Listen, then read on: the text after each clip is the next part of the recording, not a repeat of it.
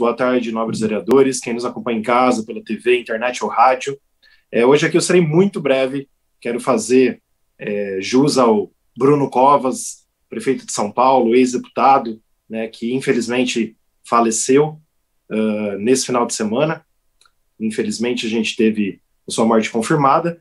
E lembrar de uma frase dele que eu ainda não consegui fazer soar durante o meu mandato, durante esses quatro anos e cinco meses que estou como vereador, né? Mas gostaria de conseguir ver isso no futuro.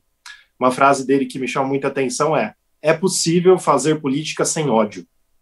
Bruno Covas. Então, que ele descanse em paz e que possa olhar por nós aqui, principalmente parlamentares, lá de onde ele estiver, com toda certeza no céu, intercedendo por cada um de nós. Muito obrigado, boa tarde, que Deus abençoe.